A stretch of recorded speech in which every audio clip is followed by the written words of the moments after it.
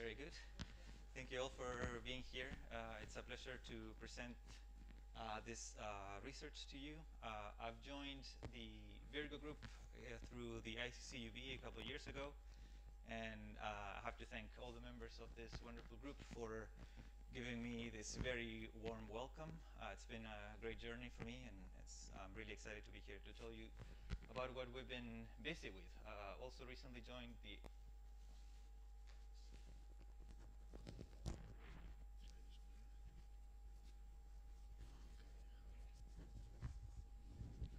Okay. All right. Uh, I've also recently, is that better, Leslie? Yeah. The Einstein Telescope collaboration. And I'll tell you a little bit about that at the end of my talk. So as you've probably heard, uh, we've detected gravitational waves a few years ago, and this has triggered uh, an enormous revolution in the way we understand the universe. We have a new way of understanding uh, a plethora of phenomena, and we're very excited to be really just scratching the surface uh, of this new of this new scientific avenue.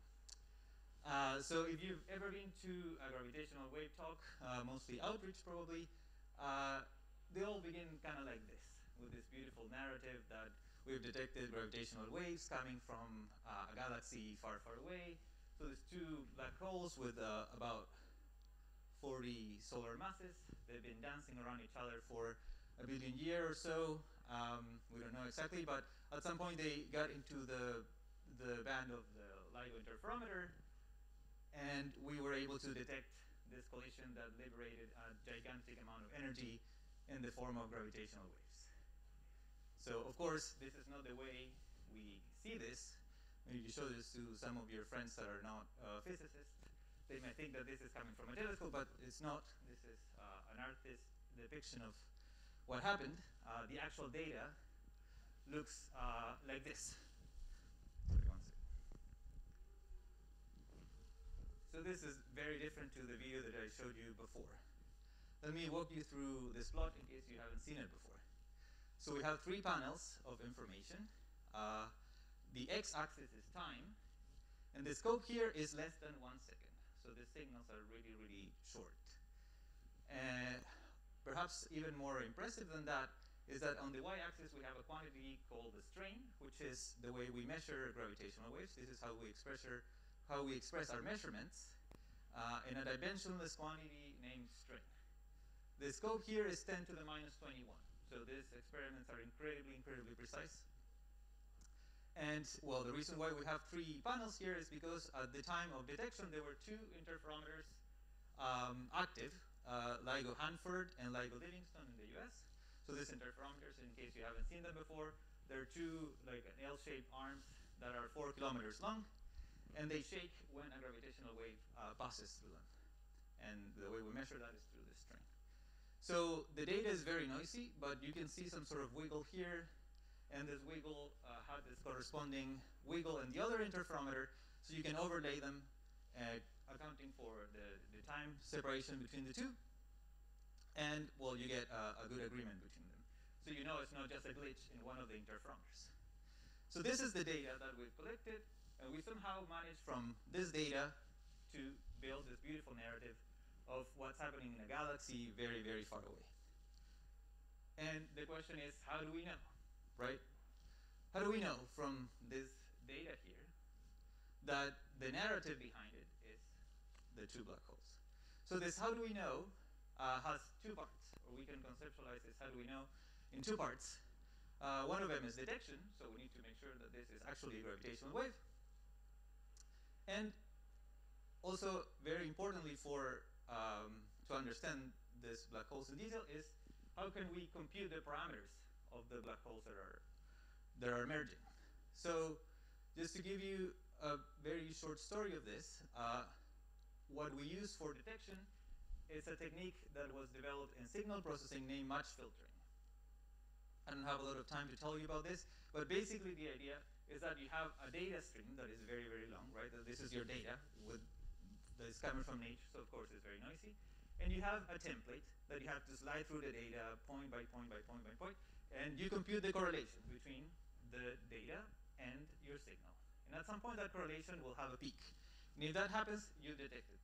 So the template is like the filter, and when the filter matches something that is uh, hiding in there, you've detected uh, your gravitational wave. Similarly, but not uh, identically, when we do parameter estimation, we do Bayesian analysis. So we start with some idea, with some prior uh, of what the event looked like in terms of the individual masses of the black holes, the spins, and so on and so forth. And we have a huge template of those, uh, a huge bank of those templates, each for uh, different parameters. So essentially, we just do a, an optimization problem comparing each individual uh, template to the actual event. And we compute different probabilities. And the probability that is highest is the one that we assign to the parameters of that event. So either if you're talking about detection or parameter estimation, to try to answer this question, how do we know this is what happened, it's very clear that we need a model. We need a very good model uh, of the expected, expected gravitational waves. And we're in luck because we have a theory. A theory that we know of, that we've been testing in many other circumstances, which is, uh, of course, general relativity. And in general relativity, we know that we can produce gravitational waves if uh, a couple of masses uh, are orbiting one another, for example. And so this creates ripples in space-time, and we will detect those ripples as gravitational waves. Um, we have a way to quantify these ripples through Einstein's equations, of course. Um, here we're dealing with uh, black hole binaries, so there's no matter, even simpler. So we just have g mu nu, the Einstein tensor, equal to zero. Okay, so uh, just to give you a flavor of how we do this, I'm not going to solve any equations in detail because, well, I need a computer and a lot of electricity. Uh, but I'm going to use a blackboard. I brought my own. Here's my blackboard. Uh, we need to do uh, a few things. We need to follow a series of steps. So the first step is that we have space-time here. Uh, space and time are married in this theory, and we want to think about an evolution problem. So it's something evolving in time. So the first thing we need to do is somehow artificially split space and time. So if you're a Pythonista like me, you'll probably laugh at this joke. So you have space-time here. You split it into space and time. There's a well-defined procedure to do this. So of course, in the theory that symmetry still exists, but manifestly you're breaking this just so you can solve it as an evolution problem. Right. So you've done this. And now what you need to do is to specify initial conditions. In every dynamical problem, you specify initial conditions. And here, well, basically you need to tell, um, to give the metric, this uh, object here is the metric of space at a certain time, corresponding to two black holes that are set in collision course. So the two black holes have certain parameters like spins, masses, initial velocities, and so on. And if you specify this, you're in business. You can start uh, your simulation. Uh, of course, the most computationally expensive part is the dynamical problem. So Einstein's equations describe the evolution of the system, is basically the time derivative of the metric, equal to some complicated right-hand side that I'm not going to bother writing explicitly. Um, and if you work very hard, you can solve this dynamical problem by solving this complicated partial differential equation. Assuming that you've done it, for uh, the time range that you're interested in, the fruit that you can collect is the strain, is the quantity you measure in the interferometer. This is some sort of, again, relatively complicated function of the metric at infinity. Here at infinity means far away from all the action where these two objects have collided. So you go sufficiently far away, you make sure that this behaves as a wave, and you can compute the strain from your simulation. So okay, uh, we know how to do this since uh, 2005 more or less. We've done uh, lots and lots of simulations ever since.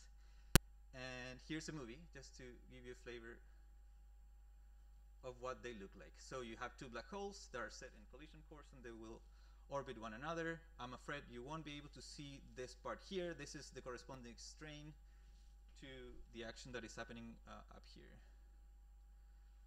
But um, I can, I'm going to try to follow this with this. So the black holes, originally they're in spiraling, so they're moving in, on a more or less circular orbit around one another. Here you have uh, a measurement of the curvature and the field lines. And here you see that at this point of the orbit, thank you, Antti, that's better. This is basically just a sinusoid.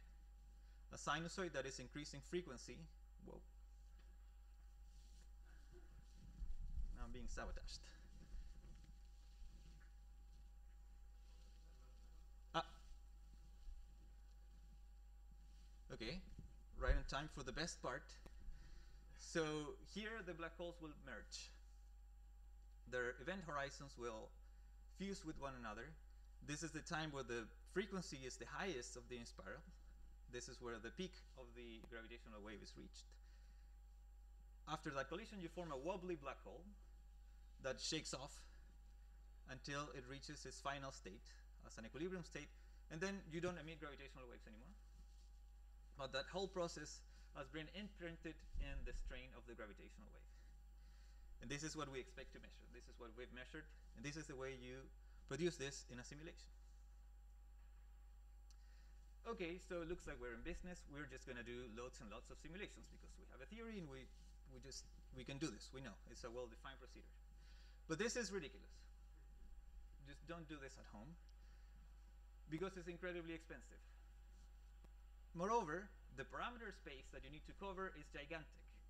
What do I mean by parameter space? Not really um, parameters in the theory. The theory doesn't have any free parameters, but the parameters in the initial conditions. So all possible ways that black holes can collide. That is a huge parameter space, and you cannot really expect to do this by brute force. So just to give you a, a flavor of how expensive these are, a simulation like this can take from days to weeks in numerical relativity, uh, and you need about, well, less than a million of them for a decent template bank. So forget about it. And parameter space um, for intrinsic parameters for a BBHs is like 13 dimensions. So yeah, this is a big no.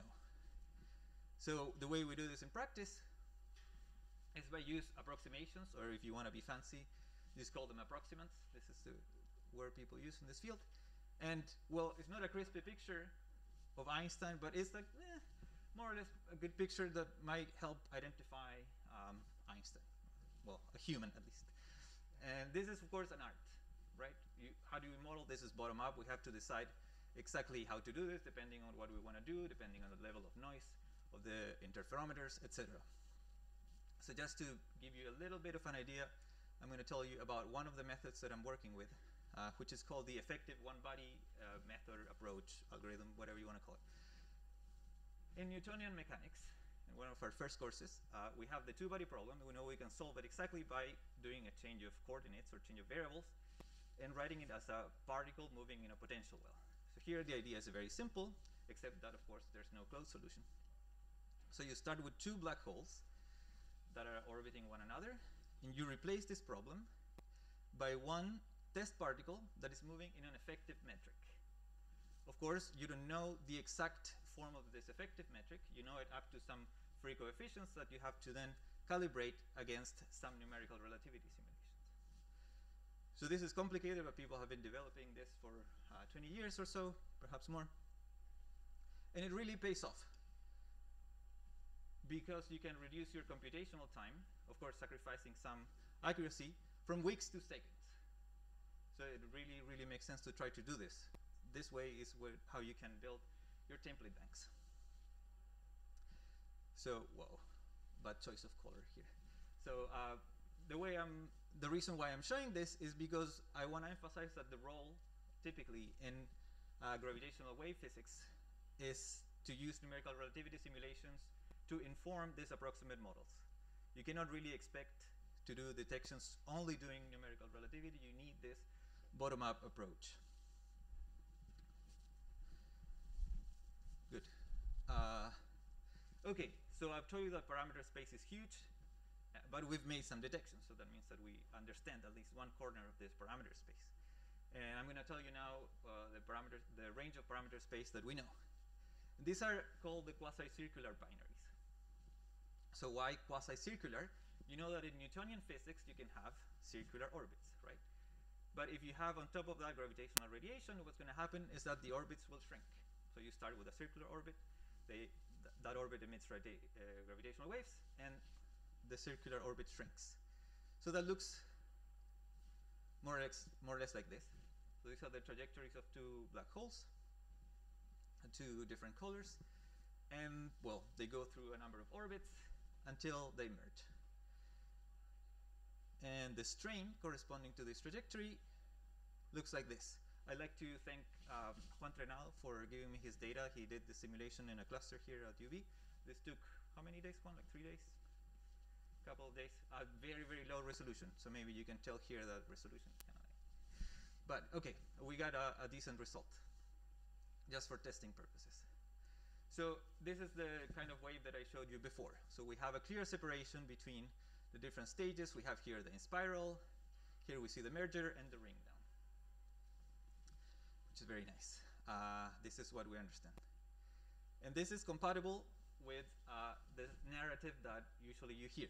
So this is what is expected from a stellar, stellar binary in isolation. So there's two stars that probably co-evolved for a long, long time that got rid of any excess angular momenta they might have had, any eccentricities, and they form the circular binary, and they form uh, the black hole uh, at the end. These are most events so far. So we've detected about 90 events so far in LVK, and most of them follow this sort of uh, explanation, this paradigm. But, well, of course, uh, I'm being here uh, emphasizing the word most because not all events can easily be explained in this, in this way. Of course, there are some challenging events. That's why we're here. Um, uh, five, okay. My favorite one is the intermediate mass black hole. Um, it's intermediate mass because the mass is very high, a lot higher than what you expect from a stellar binary. And it looks more or less like this. Uh, I stole this image from uh, my collaborator Rossella Gamba and, and others. So the signal is very short. You see there's less than a tenth of a second here. And this is essentially a merger and something else. It's just a bleep. And this is not really compatible with the previous explanation, or maybe it is, but it's also compatible with many other things. So we need to try to understand these challenging events um, a little bit better. And in order to do that, we have to consider other parameters that have been neglected so far, or well, barely, barely touched upon, uh, which are eccentricity and precession of the orbits. Eccentricity, well, it's just uh, the, the classical notion will suffice. Instead of having a circle, you have a very eccentric ellipse. And precession is what ensues from the misalignment between the spins and the orbital angular momentum that makes the wave uh, wobble a bit. And you have to understand that. And why do we care about understanding this? is because we can understand all possible channels in which black holes have been formed. The, there's a whole diversity of stories, and we need to model them appropriately if we want to hope to detect them. So just one slide uh, of what I'm doing. So of course I'm doing numerical relativity simulations uh, in two different scenarios. So the first one is dynamical captures. Uh, this is the opposite, basically, of a quasi-circular binary. These are very close to head-on collisions and trajectories look kind of like this. So I don't know if you can see the colors very well, but here what's happening is that the two black holes are getting close together, and then they're going away, and then they're uh, flying in together again. And here the waveform looks more or less like this. So you have some sort of passage, then not a lot happens, and then you get the merger again. Here, well, uh, maybe you can see it. There are two lines here. There's a numerical relativity line in black, and there's an effective one-body line in blue which, well, they're not identical, but this method is really starting to, to pay off. Uh, we're, we're getting good results out of this. Also, uh, in a case where there's no merger, these two black holes sort of fly by, something like this. This is also a simulation. Uh, and here, the waveform looks nothing like a merger. But in principle, these events could be detected by LIGO Virgo, and people are, are looking into this as well. And we care because we're interested in other possible formation channels. Right. So I want to tell you a short version of what Einstein telescope is. Because there's uh, some activity, recent activity regarding this. So LIGO and Virgo have done an amazing job, but they're getting a bit old and they're about to reach their maximum sensitivity. And if we want to do more, if we want to do better, we need better experiments. So the new generation of this, at least ground-based experiment, uh, is Einstein telescope. And it has uh, a couple of differences. So it's going to be a lot longer. It's probably going to be 10 kilometers long as opposed to three or four. And it's also going to be underground in order to control noise better. So it means that it's going to be a lot more sensitive. Also, of course, this is a drawing. This is not a picture. Because this is projected to begin in 2035, which sounds like pretty far away, but it's not that far. My hope is that right after Sagrada Familia is ready, Einstein's telescope will be ready. That's uh, what I'm hoping. And I don't have a lot of time to tell you about this, but I'm happy to talk to you afterwards. Is that the ICCUB is part of this uh, experiment. We're now officially part of it. Um, we're part of a European proposal that will write a very long set of reports on how this experiment should be built, and we can talk more details about that later. But yeah, we're part of it. I want you to remember that. We're organizing a roundtable to discuss the scientific case in April, so stay tuned. And these are the take-home messages. Um, I want to close with this. So we need modeling, of course. We need very detailed modeling. But the role of numerical relativity is to inform the approximants. We're in the process of generalizing the quasi-circular uh, trajectories. And this is a great time to get involved if you're interested in this field. Thank you so much.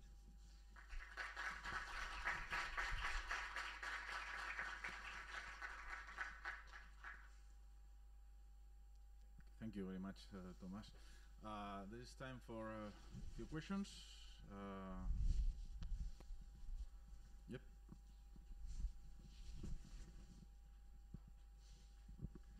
Yeah, thank you. Um, so one question about this event of this uh, intermediate mass black hole Uh-huh. that you showed. Um, so the waveform is, is, is a little bit strange. So does Yes. it uh, have to do with this kind of hyperbolic encounters or something like that? And related to that, these kind of signals that you are modeling, uh, in the case of hyperbolic encounters, Uh-huh. this, uh, I mean, I, I guess that it's somehow easy to to spot one of these uh, events where the frequency is, is increasing with time, but it might not be so easy to detect these issues where you have signal with which can be confused maybe with noise or things like that. So yes. is it is it more challenging to detect these signals uh, from the Yes. itself? And yeah, can you put this a It's, little bit it's more context? challenging.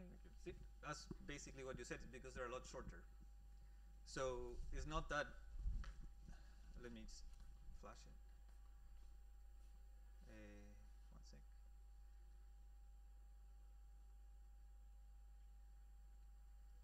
Yes. So it's not that they're incompatible with quasi-circular orbits. They're compatible with many other things, and then you have to do, you know, your Bayesian analysis uh, carefully and make sure that the probability is really highest with this model. So people have conjectured many, many things that could uh, explain this, and well, basically because the data is noisy, it's, it's very hard to to tell this apart from something else. Okay, there's time for one more question. Yep.